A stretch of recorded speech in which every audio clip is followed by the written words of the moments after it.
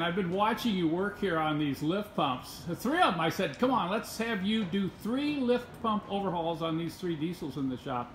Can you share with the viewers what you've learned doing this?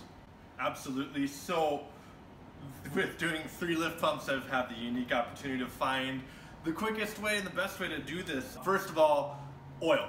The amount of oil that comes out when you remove the lift pump is significant. So, what we found is the best way is to use one of these round magnetic dishes to position underneath the lift pump to then guide the oil that comes out into a bigger receptacle underneath. Number two is tools. Now it's only three bolts, but getting to them is the hard part. As you can see, I've got a plethora variety of 10 millimeter wrenches, angle wrenches, box end, ratcheting, even this nice short stubby would end up being too long. We found that if you have a nice flex head ratchet, you can get the forward lower bolt and access that, run that in with the ratchet, and then once that's tightened, you're able to thread the other ones on.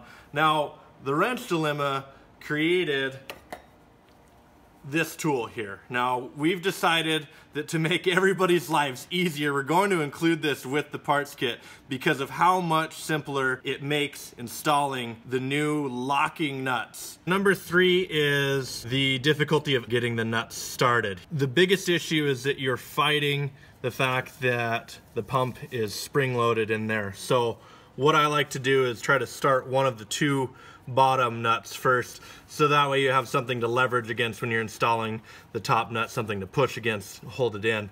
Now I like to stand at the front of the car. I'm right-handed so that allows me the greatest dexterity to get to this back nut here. Okay, so once you've got the bottom two nuts started by hand, you'll be fighting the tension, the spring tension of the lift pump. So that's where you're gonna wanna push that in so that you can then get your hand in to get the last nut on the top started. And then you're able to access this front lower nut with the ratchet, the flex head ratchet, uh, but the other two you will need to use an open end wrench, which is why that short, short little wrench is worth its weight in gold. Uh, absolute godsend because it allows you to operate in the tight area that you have to. Light is key. A good hand lamp is worth its weight in gold when doing this because once you're able to see what you're doing, it makes a world of difference. Okay, I just want to wax poetic for a minute here because this thing, this little guy here is worth probably about 45 minutes. Now the first one that I did going in blind took me about an hour and 15 minutes. Second one was half an hour. So the second one was done with this and while it wasn't the entire part, it made life so much easier, so much more enjoyable to do this job.